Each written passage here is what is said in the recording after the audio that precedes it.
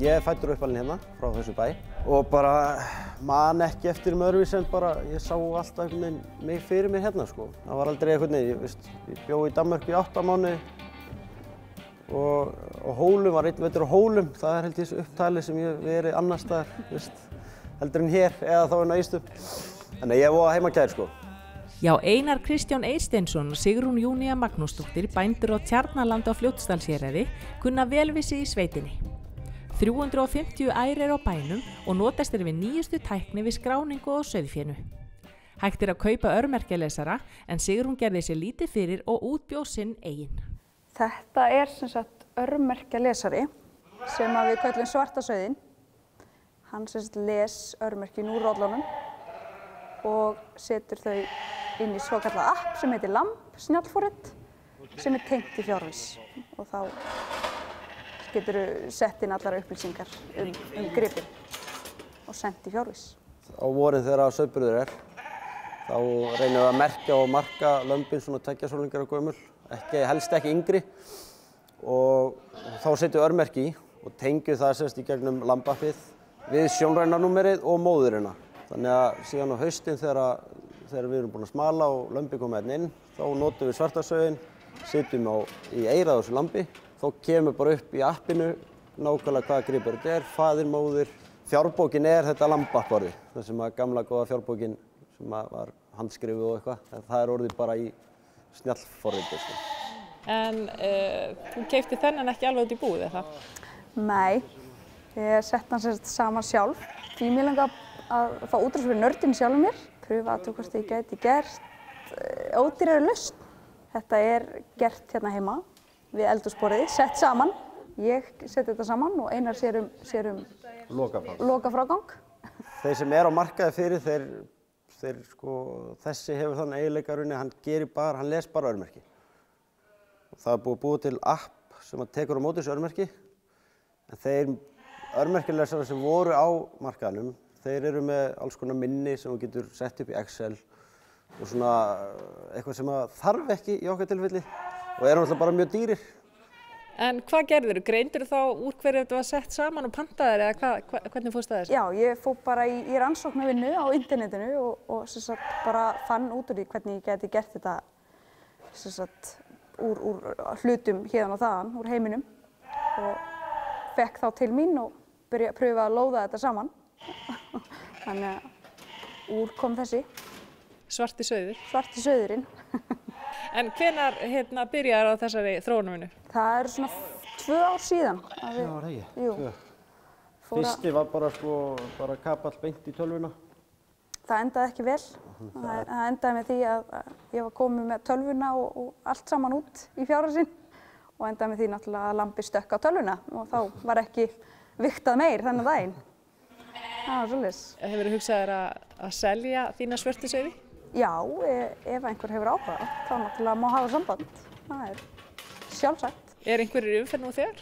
Já, það eru nokkrir í umferð. Cirka sjö, held ég, stykki. Og væri frábært ef það kemur fleiri út. Hm.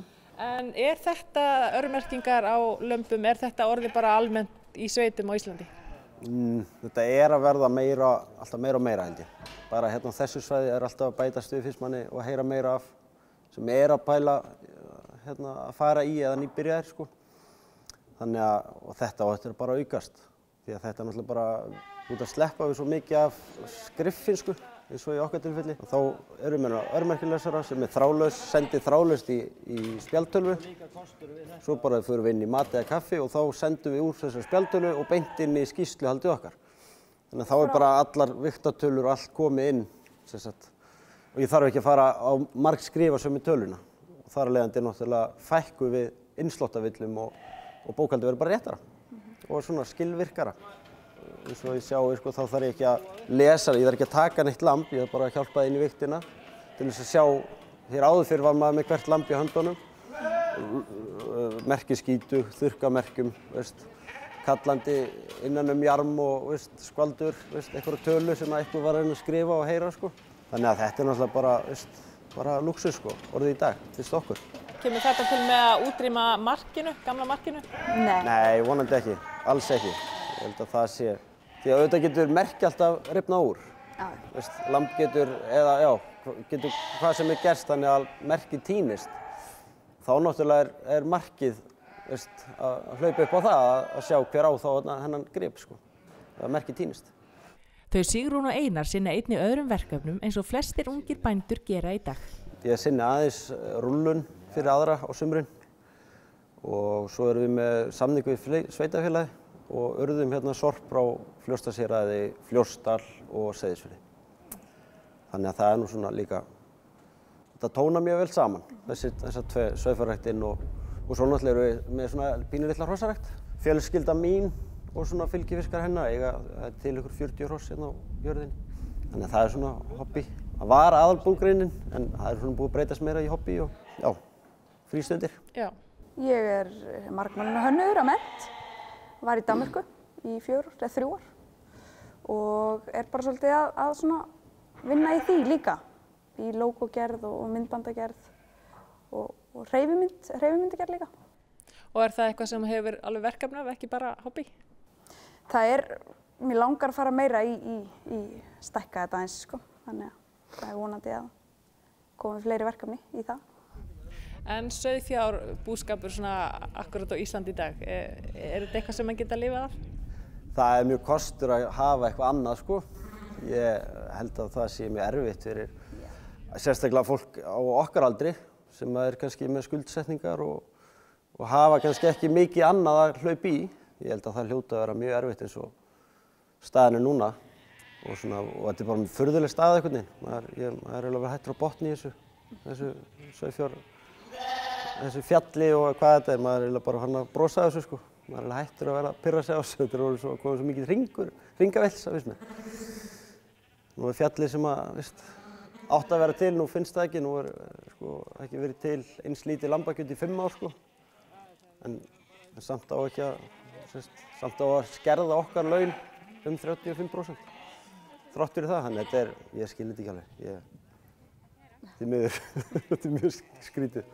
En segð mér aðeins, þú, þú ert að klára að gera litla skemmtilega, eða lítið skemmtilegt myndband. Já, passar. Hvað, hvað gerðir þú?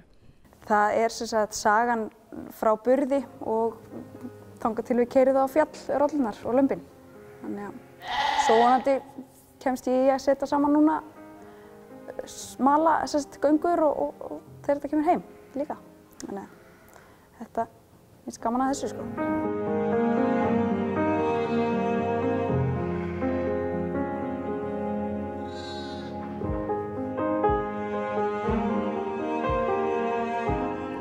En hver er svona framtíðasýnin ykkar hér bara bæði þá með kannski búskapina almennt og kannski þessa þróun?